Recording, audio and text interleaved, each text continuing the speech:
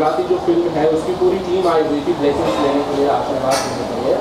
आपने गुजराती में उन्हें बहुत सारा आशीर्वाद दिया मुझे गुजराती थोड़ी कम समझ में आती है।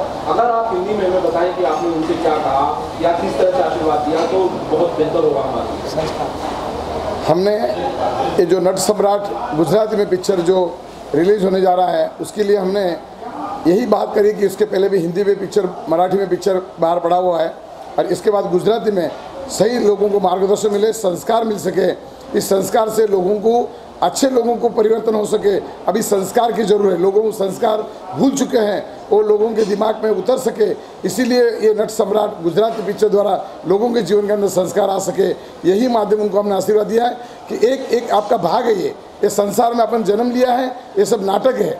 पिता है, पुत्र है, माता है, बहन है, भाई है, भाभी है, ये सब एक नाटक का रोल है। तो ये कर्म करने का आपको मिला है। इस इस कर्म के द्वारा यहाँ ऐसे ऐसे कर्म करने अच्छे अच्छे कर्म करने हैं। उस कर्म को आपको यहाँ से कर्म कम करके, ये स्वार्थ पूर्ति कम करके और जीवन को धन्य बनाने के लिए ये मार्गदर्शन संस्कार द्वारा मिलता है। ये पिक्चर द्वारा आजकल लोग हमको प्रवचन सुनने आते हैं तो ज़्यादा ज़्यादा लोग 2000 3000 लोग आएँगे प्रवचन सुनने के लिए। पर एक, आपका ये सोशल मीडिया आपका ये मीडिया पिक्चर द्वारा हज़ारों लोगों को सुन सके और उनको मार्गदर्शन मिल सके और उनके जीवन के अंदर संस्कार आ सके यही हमने उनको आशीर्वाद दिया है कि जीवन के अंदर परिवर्तन आवे और संस्कार आवे यही हमारा आशीर्वाद दिया है। शायद नट सम्राट जैसी फ़िल्में बनाने के गुरु जी ज़रूरत इसलिए भी पड़ती है क्योंकि हमारे परिवारों में हमारे परिवार के सदस्यों में प्रेम कम हो गया है।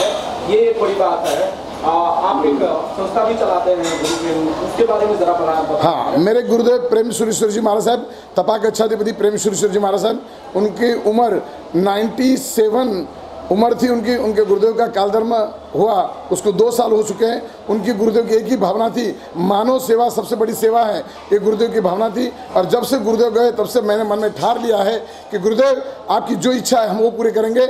जब से गुरुदेव गए, तब से दो साल से हमने गुरु प्रेम मिशन का नाम से एक कार्यक्रम चालू किया, एक लॉन्च करने जा रहे हैं, उस कार्यक्रम में आगे बढ़े हैं। और तब से मानव सेवा का कार्य के लिए दो साल के अंदर कम से कम दो सौ, डेढ़ सौ, दो करोड़ रुपये हमने मानव सेवा के पीछे लगाए हुए हैं। वो पानी का पूर्व राहत हो या किसी भी कोई भी काम का राहत हो अभी भी जैसा चल रहा है केरल में, वहाँ भी हमने अभी दस पंद्रह लाख रुपये हमने भक्तों द्वारा, गुरु मिशन मिशन द्वारा हमने वहाँ पैसे भेजे हुए और वहाँ लोगों के लिए खाना भेजा हुआ है।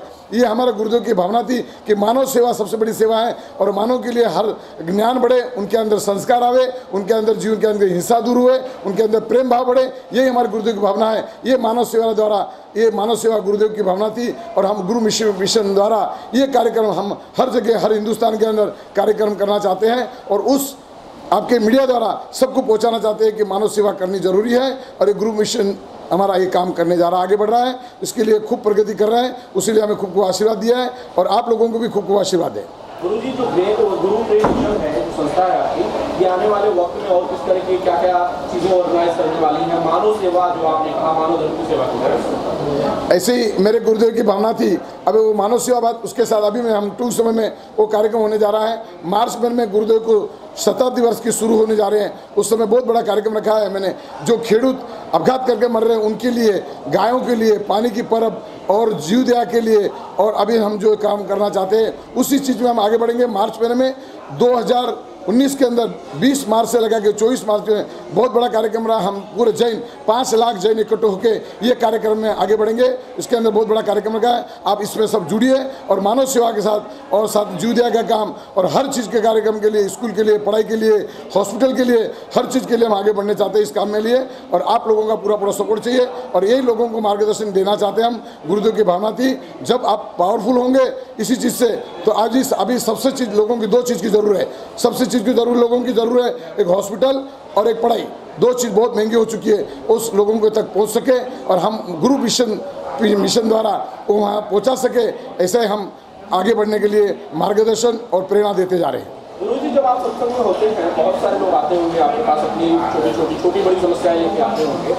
परिवार की समस्याएँ भी लेके आते होंगे, जो विषय पर आज हमारा सिनेमा आधारित है तो आप उन्हें क्या कहते हैं? जैसे बेटे पिता की बात नहीं मानते, पुत्र मानते नहीं है, बेटियाँ अलग राहों पर जा रही हैं, उन्हें कैसे आप समझाते हैं? उन परिवारों की समस्याओं को कैसे दूर करते हम एक ही समस्या, आज मैंने प्रवचन में गुजरात में बोला था, जिस पत्नी, घर के अंदर पत्नी और माँ, जिसका बहुमान नहीं है उस घर के अंदर लक्ष्मी का वास नहीं रहता है। उनको पहली सीधा आज हर व्यक्ति लक्ष्मी के पीछे पैसा पीछे पागल के जैसा दौड़ रहा है।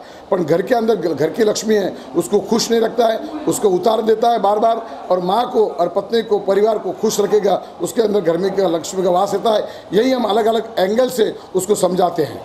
ऋषि मुनियों ने शुरू से ही हमारे देश को भारत देश को आ, उनका मार्गदर्शन किया है लोगों को सही राह दिखाया है। आज के समय में आज की इस वक्त में इस दौर में सबसे ज़्यादा किस चीज़ की ज़रूरत है? इंसानियत को मानव का। मैंने पहले ही बोला, अभी और बोल रहा हूँ। अभी इस इंसान को खाने के लिए मिल जाएगा।